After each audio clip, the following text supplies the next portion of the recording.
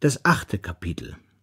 Wie er in einem Trog den Teufel findet, Spring ins Feld hingegen schöne Pferde an sich bringt.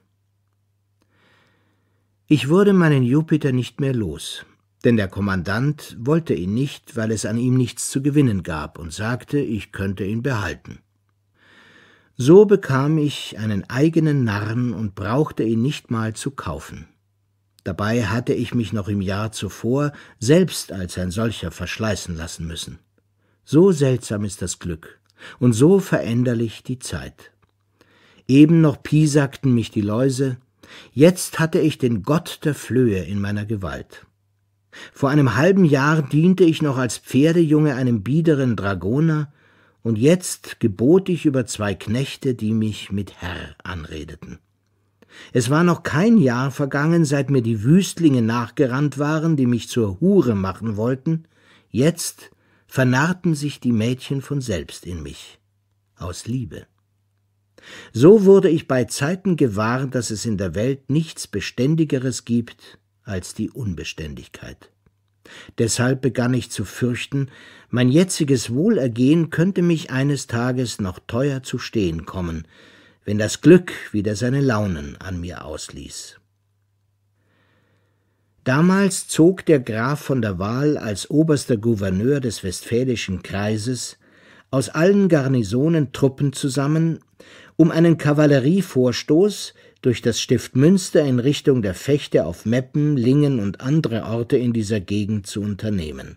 Vor allem aber, um zwei Kompanien hessischer Reiter aus dem Stift Paderborn zu vertreiben, die zwei Meilen von Paderborn entfernt lagen und den unseren dort viel zu schaffen machten. Ich wurde den Dragonern zugeteilt, und sobald sich in Hamm eine größere Truppe gesammelt hatte, zogen wir schnell fort und bestürmten, noch ehe die unseren nachkamen, das schlecht befestigte Städtchen, in dem die hessischen Reiter sich einquartiert hatten.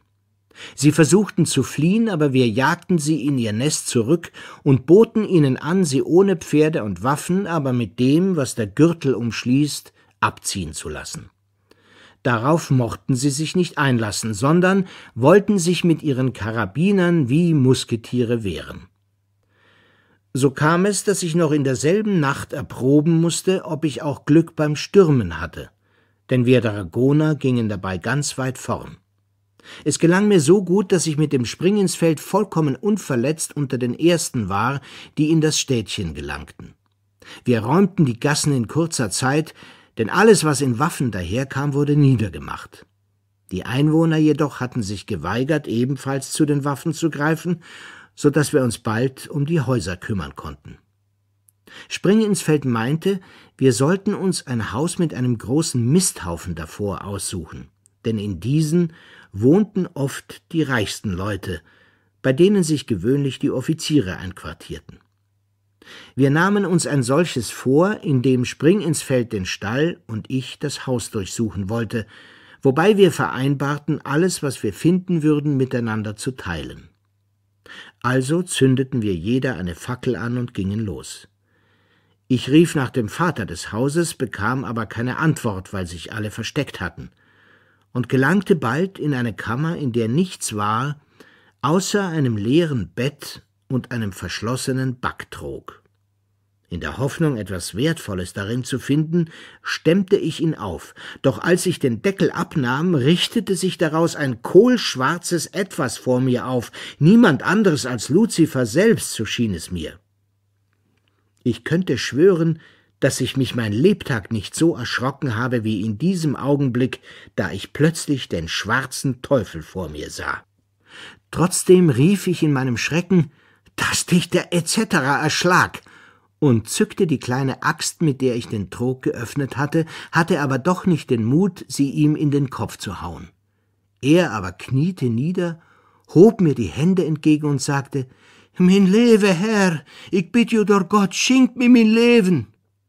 Da begriff ich, dass er kein Teufel war, denn er sprach ja von Gott und bat um sein Leben. Ich sagte, er solle aus dem Trog steigen. Das tat er und kam mit mir, so nackt, wie Gott ihn erschaffen hatte. Ich schnitt ein Stück von meiner Fackel ab und gab es ihm, damit er mir leuchtete. Gehorsam führte er mich in eine Stube, wo ich den Hausvater fand, der uns samt seinem Gesinde in unserem seltsamen Aufzug erschrocken anstarrte und zitternd um Gnade bat. Die bekam er leicht, weil wir den Bürgern der Stadt ohnehin nichts antun durften, und er mir das Gepäck des Rittmeisters, der bei ihm logierte, sogleich aushändigte. Darunter ein wohlgefüllter, verschlossener Reisesack. Außerdem berichtete er, der Rittmeister und seine Leute seien bis auf einen Knecht und den bei mir befindlichen Mohren auf ihre Posten gegangen, um den Ort zu verteidigen. Unterdessen hatte Spring ins Feld auch schon den besagten Knecht mit sechs prächtigen gesattelten Pferden im Stall erwischt. Die stellten wir ins Haus, verriegelten es und ließen den Mohren sich anziehen und den Hausvater auftragen, was er für den Rittmeister hatte zubereiten müssen. Als aber die Stadttore geöffnet, die Posten besetzt und unser Generalfeldzeugmeister, der Herr Graf von der Wahl, eingelassen wurde, logierte er sich in eben dem Haus ein, in dem wir uns befanden. Deshalb mussten wir uns in finsterer Nacht ein anderes Quartier suchen. Wir fanden es bei den Kameraden, die an dem Sturm auf das Städtchen beteiligt gewesen waren. Bei denen ließen wir es uns gut gehen und verbrachten den Rest der Nacht mit Fressen und Saufen. Nachdem ich und Spring ins Feld unsere Beute geteilt hatten, blieben mir der Moor und die beiden besten Pferde, eines davon ein spanisches, auf dem sich ein Soldat vor dem Feinde wohl sehen lassen konnte und auf dem ich später nicht wenig glänzte. Aus dem Reisesack aber bekam ich verschiedene kostbare Ringe und ein Porträt des Prinzen von Oranien in einer goldenen, mit Rubinen besetzten Schatulle, während ich alles andere dem Spring ins Feld überließ. So kam ich, wenn ich alles weggegeben hätte, mit den Pferden und allem anderen auf über zweihundert Dukaten.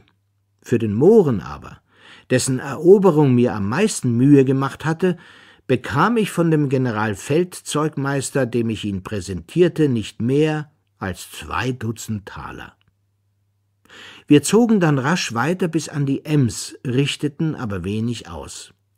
Und als wir nachher in die Nähe von Recklinghausen kamen, holte ich mir die Erlaubnis, dem Pfaffen, dem ich den Speck gestohlen hatte, zusammen mit Spring ins Feld einen Besuch zu machen. Das wurde ein fröhliches Beisammensein. Ich erzählte ihm, wie mir der Schreck, den ich ihm und seiner Köchin neulich eingejagt hatte, von dem Mohren kräftig heimgezahlt worden sei, und schenkte ihm zum freundlichen Abschied eine schöne schlagende Halsuhr, die ebenfalls aus dem Reisesack des Rittmeisters stammte. So machte ich mir überall diejenigen zu Freunden, die sonst Ursache gehabt hätten, mich zu hassen.